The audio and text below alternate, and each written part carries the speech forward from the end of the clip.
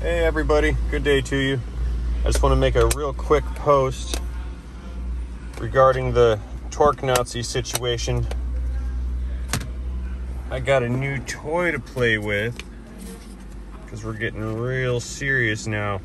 This is a quarter inch drive, inch pound wrench. So we can achieve a higher level of perfection.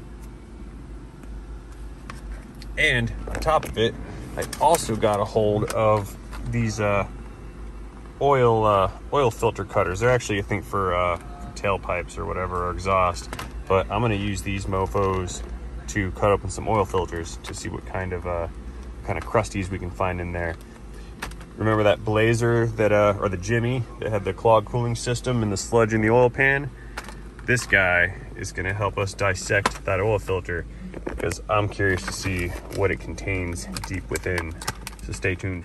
By the way, if you guys didn't see the uh, the intro video to that series, I'll leave a link down in the description below.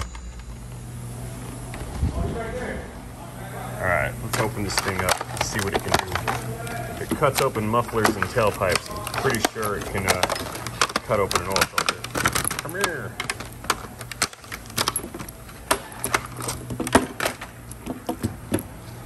Pretty cool. Yeah, it's got little little roller blades on it. roller blades. Yeah, it looks like that hooks up. Uh, these links hook up in here somewhere. You can adjust the length of it, and then we'll just run it around the filter until it uh, until it cuts it open. So I got uh, I got the filter. It's this one right here. Just slap it in the vise and chop off the top and see what's inside. There we go.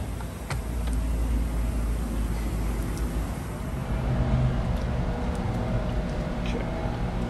So let's wrap this guy around.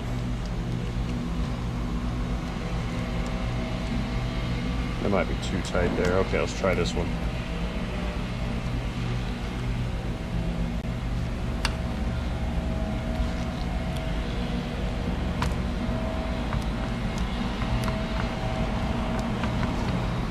Hmm, that kind of wants to smash the filter. I'm gonna move this higher up. Let's try it here.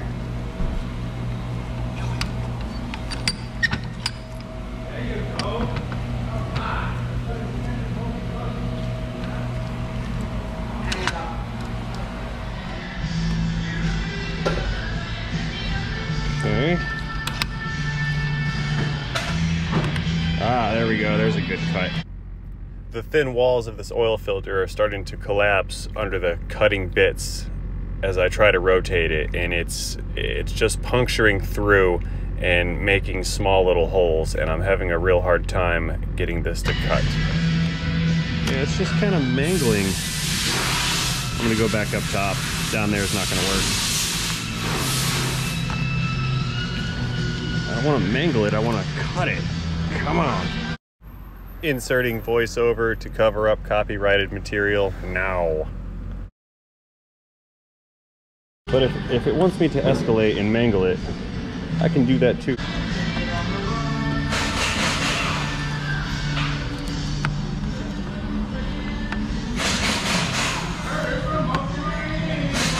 You just manually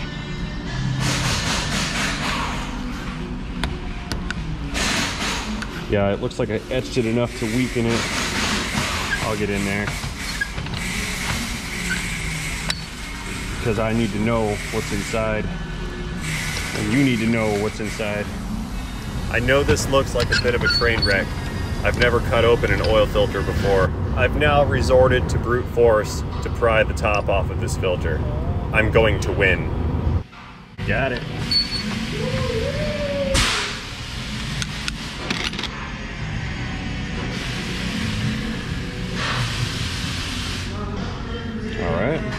Dump this out and see what's inside.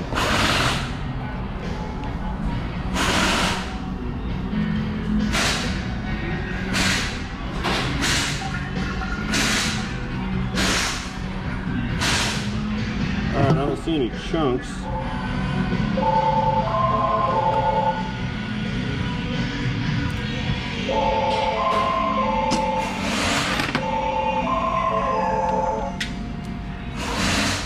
If I can get this cartridge out. Might have to keep ripping it open. Because I smashed it down here. It's probably probably pinching the cartridge.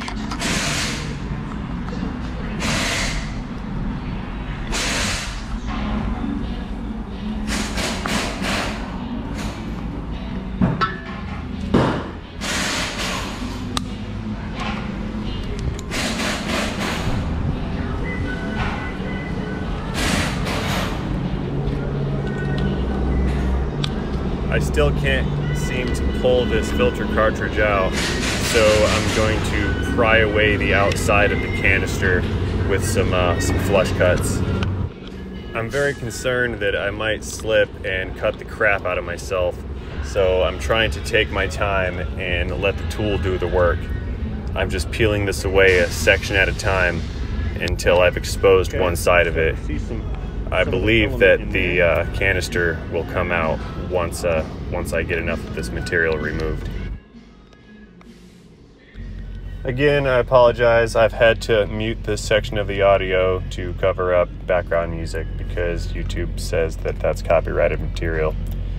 Either way, I believe I'm making some progress here. I've got uh, the uh, filter element exposed and I've got a good grip on it with my pliers, so I'm just trying to work it out as best I can to pop this cartridge out. I'm getting a hold of the thin material with my pliers and just twisting them and rolling the material away. And that seems to be the most effective method with the least amount of risk. Again, I'm trying not to cut the crap out of myself. Oh, look at that.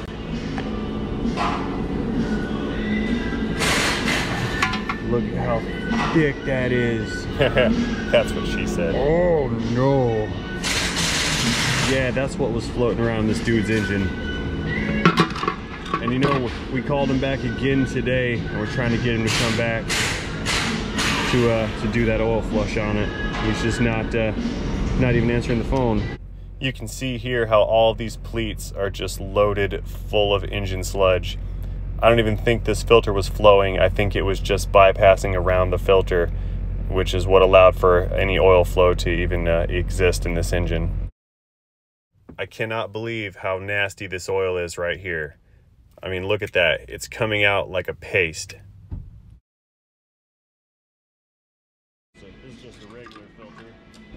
Okay, so what I want to do now is take this regular oil filter that came off of a similar vehicle. I think this came off of a 02 Chevy Tahoe.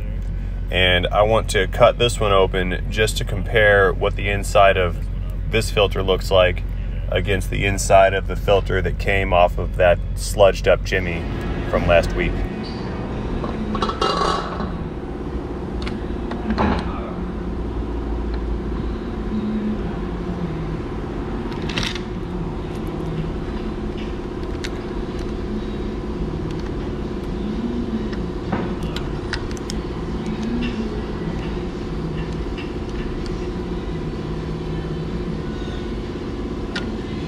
now I think I got the hang of this. Light pressure and a bunch of movement.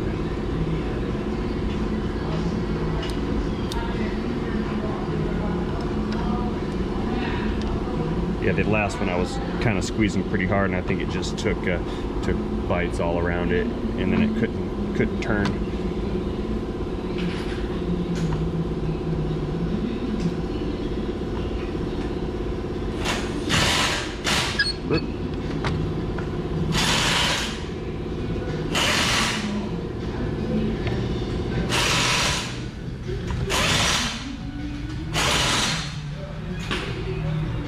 should be about through, I think. Yeah.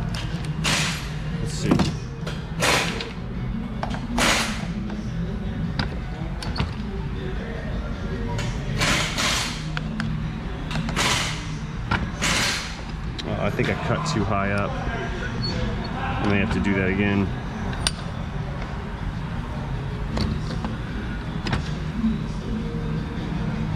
I managed to cut into and score the edge of this filter canister with that yeah, tool that I bought. Going. Maybe I can get it apart. Uh, I found that the filter face is riveted on, so I'm going to continue to try to pry this away rather than trying to make another cut and possibly crush this uh, this housing.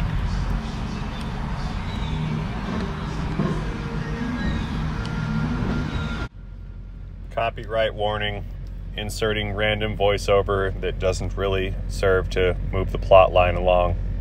No. Now I'm gonna have to make another cut. Oh, score.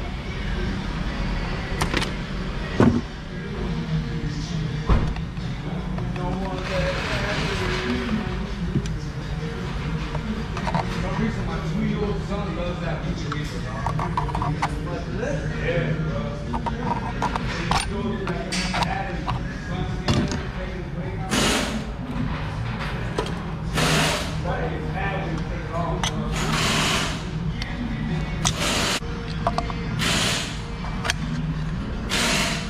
think I figured it out. This cartridge is much easier to remove than the first one. I was getting very ahead of myself. I had to re-gloved after I lost my first pair. They were getting super sweaty. So, in this known good filter, let's do a side-by-side. Yep, it's doing its job, but it's not sludged right up and and in the bottom of the canister dump out this oil.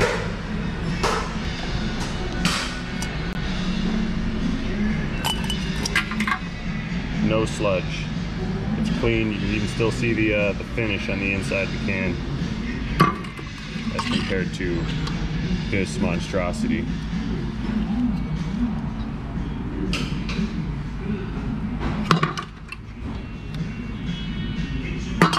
Okay, now we know.